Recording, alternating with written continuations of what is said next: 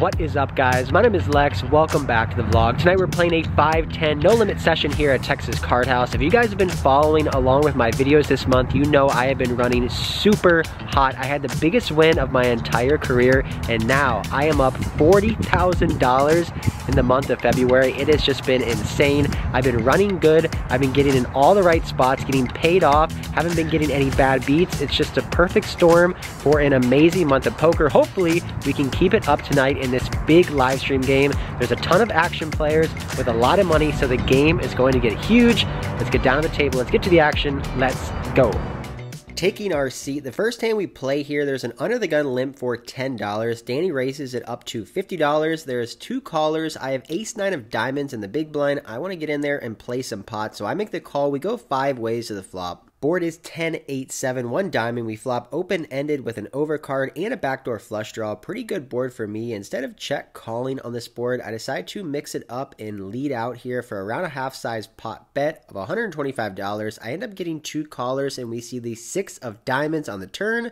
giving me a straight. Not only does this 6 give me a straight, I also pick up the nut flush draw as well. I didn't get raised on the flop, so I don't expect my opponents to have a set or two pair in my mind, so I continue for a $250 bet, really trying to keep them in there with all their one pair hands. I end up getting two callers again, so we're going to the river, which is a brick. It's a deuce of hearts. With $1,400 in the middle, I have a straight and I don't want to bet too big here. I want to get called by all of my opponents one pair, two pair, and sets. I don't want them to hero fold those hands, so I decided to go with another small bet of $300 and the under the gun player has a set of sevens. He thinks for a while, but eventually he puts in the call. We show the ace nine to take down our first pot here, playing on the live stream on a Wednesday night at Texas Card House in Dallas. I started off this session buying in for $5,000 and right off the bat we're almost up 1,000 bucks within the first 20 minutes of our session. Next up, there is a double straddle on. The blinds are at 5, 5, 10, 20. There's an early position raise to $60. I have ace 8 of clubs next to act. I decide to 3 bet here. I feel like I should be 3 bet or folding this hand, and this time I decide to bump it up to $200. I don't want to get squeezed out by the blinds. And I also really don't want to go multi-way with a hand that has some reverse implied odds. Initial raiser, Mike ends up making the call, so we're heads up in position to the flop of queen, three, deuce, one club. All in all, it's a pretty good flop for us. We do miss, but we should have the range advantage here. I feel like if I bet the flop and bet the turn, I can get him to fold all of his pocket pairs like sixes through pocket jacks. I wager $150 and Mike pretty quickly makes the call. So we're going to the turn, which doesn't help us at all. It's a nine of hearts. It doesn't give us any extra equity. When check to me, I consider checking this one back, but I do feel like this is a spot where I can double barrel and he'll be in a pretty tough spot with everything but a queen or a set of nines. I settle on one pink chip, $500 going in the middle. I think to myself, if he calls here and the river is a low brick card, I'll most likely fire a triple barrel. However, Mike turned a set of nines and our bet is not going to work. He ends up raising us up here and we make the snap fold. It's like just $1,200 and Lexo's going to snap fold. Nice hand for bridge Mike.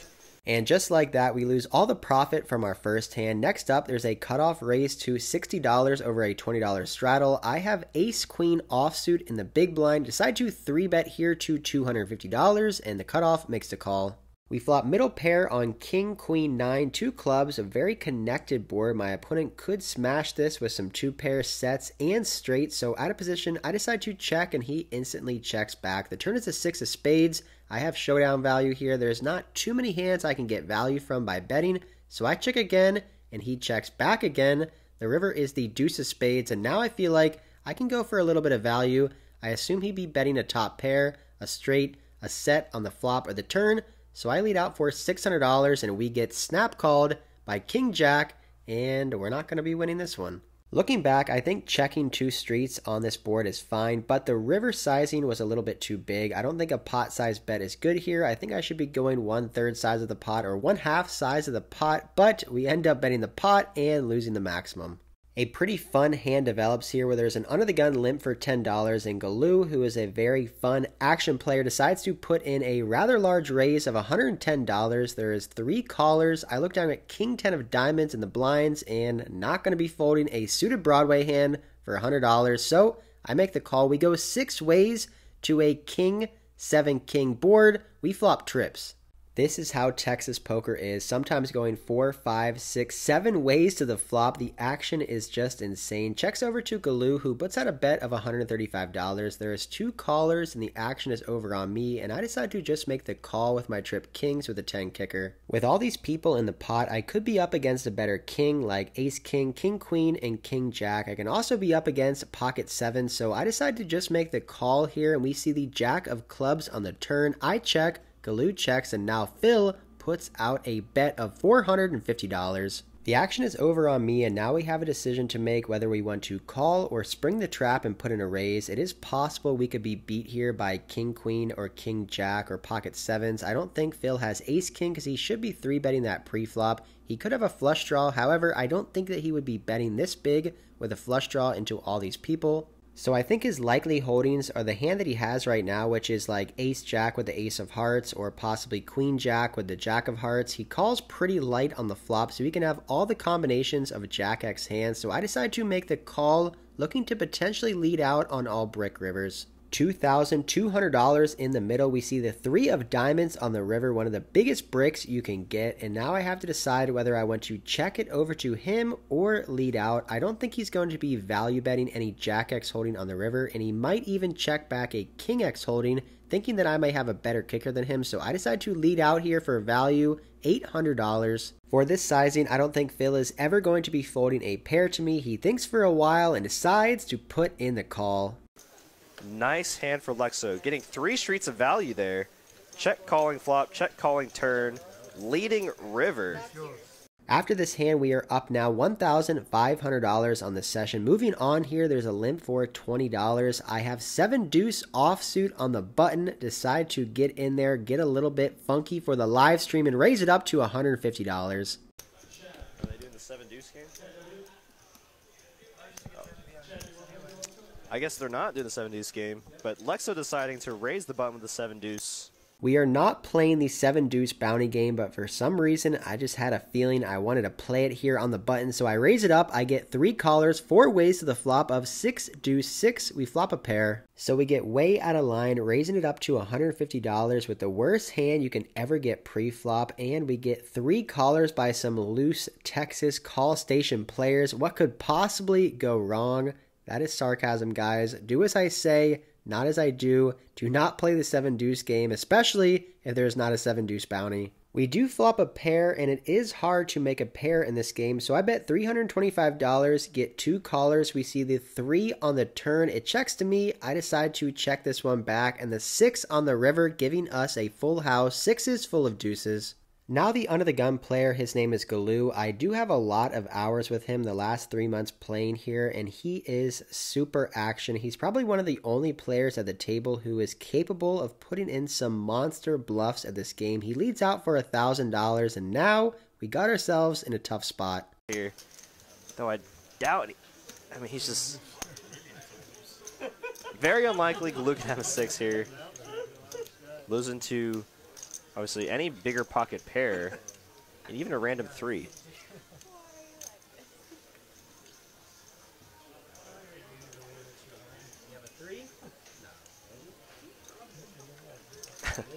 Lexo asking Galoo if he has a three. According to the Zeebo theory, no player is capable of folding a full house no matter what the bet size is. Now, I don't really agree with that. I could be folding some full houses to some players, but not Galoo. The bluffer is going to get paid off this time. I put in the chip and he shows me pocket eights for a better full house. I think Lexo would just snap fold, but Galoo just has so many bluffs. Just so many random hands that he has, like ace five, uh, seven eight. This should be a lesson to all of you guys. Even if you're playing on stream and not trying to look like a nit, don't just go light 1500 plus dollars on fire trying to play 7 deuce. Just make the fold. Alright, now we're down even more money. Time to play some good poker. There is three $20 straddle limps to me. I have pocket queens in the big blind. I raise it up here to $175. Get three callers going to the flop of deuce for deuce. Where was that flop last hand? I'm kind of hoping that by showing the 7 deuce hand that I was capable of raising a hand like that, maybe I will get some more light action. Even though this table is already a ton of action as it is, I continue here for $325. It folds back over to Bridge Mike, in the small blind who makes the call. We are in a great spot to win a big pot here. 92% equity. Bridge Mike only has one out and he hits it. A seven on the turn, giving him top full house. He checks over to me. I consider checking this one back, but there is so many hands that I don't want to give a free river card to. I decide to bet half the size of the pot, $700. If you guys remember back to the first hand when Bridge Mike turned a set of nines, he check raised me and we snap folded our ace high. However, this time we have an overpair on a pretty dry board. There's really not that many hands that we're losing to. So when Mike check raises me here to $1,500, I am hating this spot right now. I'm getting flashbacks to October and November when I played on stream and I always either made the wrong decisions or the wrong calls and I just could never run good. And now we're just running into it again. The likelihood that Bridge Mike is min check raising at a position on the turn with a bluff is just extremely low. I feel like he's one of the only players at the table who is probably not ever bluffing in this spot. I feel like he always either has a deuce here, pocket fours, or pocket sevens. With that being said, it is only basically a min raise. There is still some sliver of hope that I may be ahead and the river will go check check, or maybe the river is a diamond. He checks to me and I could try to bluff him off of a deuce. So I decide to make the call and we see an eight of diamonds on the river. Another terrible card. If he was semi bluffing the turn with a combo straight and flush draw, he now got there on the river. He continues for $1,500, and we are in a gross spot. All of his bluffs on the turn got there. I don't think he's ever betting a hand for value for this sizing that we are beating. So I know I'm going to fold. I just do a little Hollywood and let this one go. Six, even five six offsuit on the turn, or five six suited on the turn. River to straight. And I think that's the conclusion that Lexo comes to, and he does make the very good fold. I go into my pocket and bring out some chips and give some cash to the dealer and add on to my stack. I'm now in the game for $11,000, sitting on a little over 8,000 bucks before the next hand comes up where Galoo raises it up. There's a call. I have Jack 10 offsuit in the straddle and I make the call as well. We completely miss on an ace high board and the action checks all the way around. The turn is the jack of spades, now giving me a pair. It checks to me. I bet $200 and only Galoo makes the call. The river is the deuce of spades. I decide to check and now after thinking for a while, Galoo puts out a pot size bet of $600. Facing this bet sizing, I don't think I have to defend with a call as often. We're losing to some slow played ace high hands on the flop, better jacks like king jack, queen jack, maybe queens or kings. We're losing two backdoor flushes. We're not really beating many hands, just some king or queen high hands that he's bluffing with. So I decided to let this one go, and it turns out to be the wrong fold. He just had king high. We are now in the hole about $3,000. I just keep making the wrong decisions. I'm either calling wrong, I'm folding wrong, and it's just getting really annoying. Luckily, in this next hand, we do find a small pot that we could win here where there's a $40 straddle. I raise to $150 with ace jack, get two callers, flop an ace. I bet they both call the turn. I bet and they fold, and we finally take down a decent sized pot.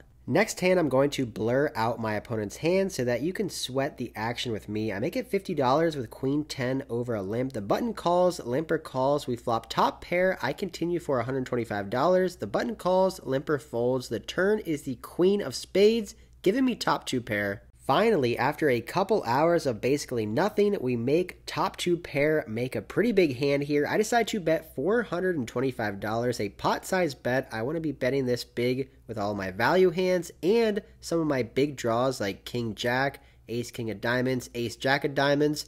My opponent on the button decides not to call, but put in a raise.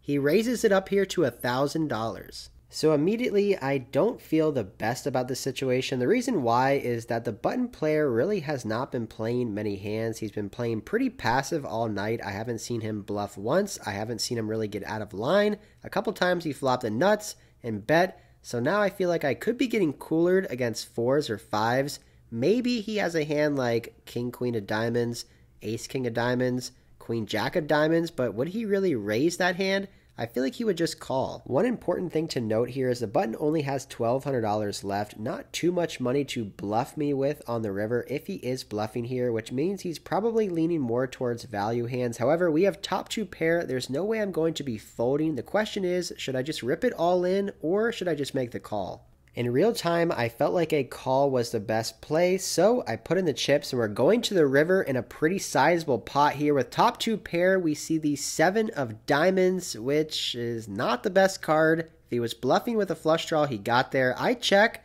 and he instantly jams all in. Ugh, just another nasty spot, just over and over and over again. We do have a great hand, however, the way he's played his hand, I feel like top two pair is probably not ever good here. I go into the tank for a while, start thinking over the hand, trying to run it back in my brain to try to figure out what I want to do. He raised on the turn, which is pretty strong, facing a pot size bet from me. If he did have one of those hands like ace queen or king queen, I'm pretty sure he would check that back on the river. I don't think he would ever be going all in with just a single pair on this river. I just cannot make up my mind here. Keep going back and forth whether I want to call or fold. I don't really see any bluffs in his range here once the diamond gets there on the river. We're losing to a set of fours, a set of fives, losing to 8 6 for a straight. Any flush that he might have raised on the turn, and queen x of diamonds. While I'm thinking over my decision, I want you guys to pause the video, go down into the comments and tell me what you would do before you see the results. I want you to pretend like you're in the situation with me. Would you call here with top two pair or would you make the hero fold? After tanking for over two minutes, I let this one go, and the button shows the Queen of Diamonds, and he has the King of Spades for just top pair. I'm not sure if he was bluffing here or value betting. I have no idea what the hell just happened in this hand. Well, I'm officially on tilt. He was just trying to gift me his stack, and I just could not make the right decision. The whole hand really didn't make much sense at all. He raised on the turn with just top pair king kicker, and then jammed all in when the flush got there after I called the raise on the turn. It just doesn't make much sense, but he got us to fold the best hand, and now we're stuck even more money. I'm having a hard time controlling my emotions here. I'm getting pretty on tilt. I've made the wrong decision so many times in the last couple months on live streams, and now again, we make the wrong fold when we should have won a big pot. However, it's poker. We gotta be tough. Moving on to the next hand, there's a $20 straddle, a limp. There's a raise to $70. We have pocket queens on the button. Let's get some money back.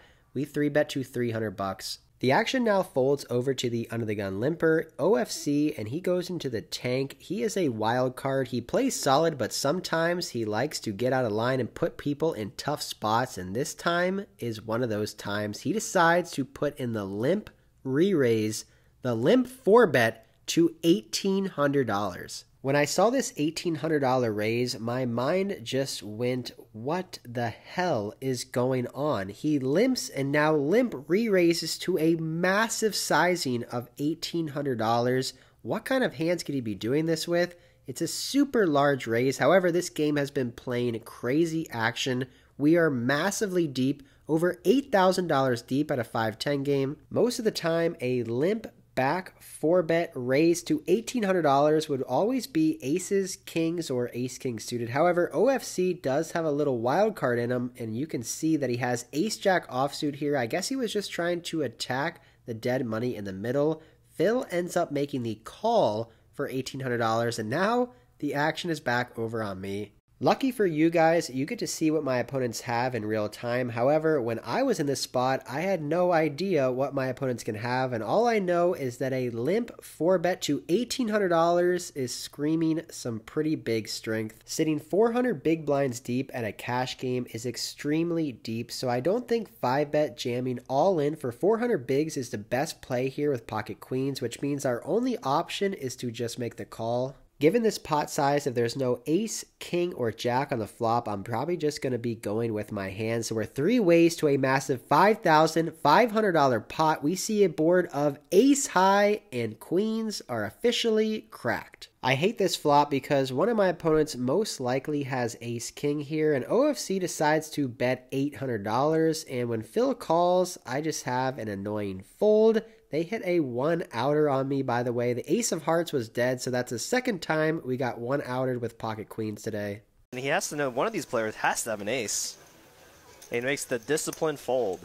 This pot goes on to be the biggest pot played on the live stream $17,000 when the river is a 10. Phil bets $4,000 in OFC tank calls with ace jack. Just an insane run out, an insane hand there. Things are just not going my way tonight. I'm in the game for $11,000 and now my stack is dipped below $6,000. Phil just won a massive pot and has a stack of over 17K, so I reach deep down in my bag and pull out 10K to add on now we got $15,000 to play for. With a $25 mandatory straddle under the gun now, I look down at the ladies again. Don't do me wrong. This time, sitting on over $15,000, I raise it up to $100. I get three callers and see a board of ace, king, queen, flopping a set. OFC just folds his hand. Chris checks over to me, and with bottom set here, I decide to give Galoo some rope and check over to him, hoping that he'll either take a stab with a total airball bluff or overvalue a worse hand. He does put out some chips, $175. Chris gets away from his hand, and against a player like Galoo, I want to give him some rope and let him to continue to bluff on the turn. So my plan here is to check call the flop and then try to check raise any non 10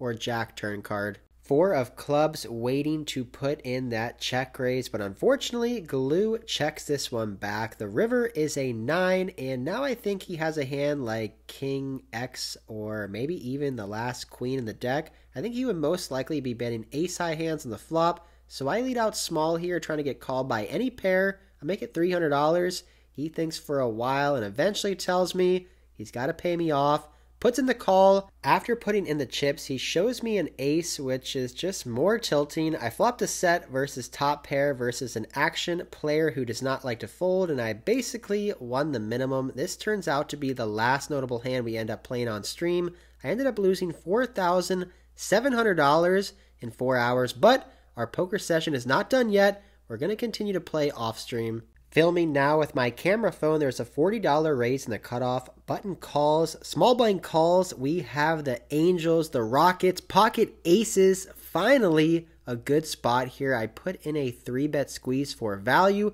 I bump it up to $275. Stuck almost 5k, you are begging for action with pocket aces, but unfortunately, we get no calls, so we just take down the dead money preflop. We move to get a better viewpoint for the vlog. We call a raise on the button with ace 5 of clubs and flop top pair call a bet on the flop. The turn goes check check and the river my opponent puts out a bet. I make the call with my top pair 5 kicker and he shows ace deuce for 2 pair and we lose another pot. We're stuck now almost 6,000 bucks. We started the session up $40,000 profit for the month of February, but so far we have been running so bad. This is what I was worried about when the downswing comes in. It hits hard. We've lost basically every pot tonight and we've made the wrong decision numerous times to get us stuck over $6,000. It's now past midnight. I'm thinking to myself, maybe I should just go home and book the massive loss of $6,000. But then the next hand, we're in the under the gun straddle and look down at pocket kings. Under the gun plus one, the action player Galoo from the stream limps for $20, and now an unknown player in the small blind looks like a recreational player puts in a raise to $150. Now the action is back over on me. It's pretty simple. I'm stuck tons of money and I have a great hand, so I bump it up. Let's play for more. I 3 bet here to $425. To my surprise, Galoo calls $425 and now the action is back over on the small blind. The small blind started the hand with $5,000. He reaches down to his stack and grabs some black chips and then adds a 1K chip to it and throws out $1,400, a 5 bet, a re re raise to $1,400. Wow, facing a 5 bet with pocket kings, we are stuck heaps on this session. Maybe this is the hand will get us back to even. Now, of course, he can have pocket aces and we could get coolered here. However, we cannot be scared of monsters under the bed. My opponent started the hand with 250 big blinds, so I got one option, and that is all in. All right.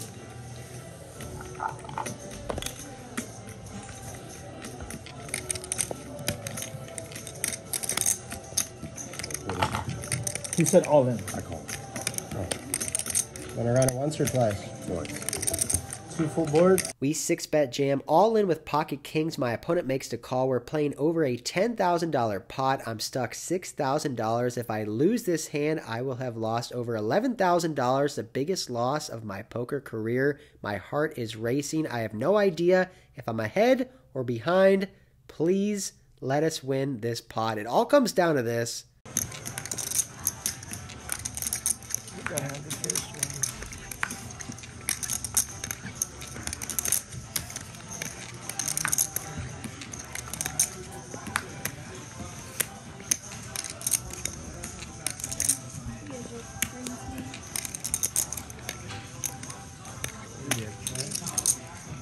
We flop top set on the top board. No ace, king, queen, or jack on the second board. My opponent shows pocket jacks, and we hold to win over a $10,000 pot.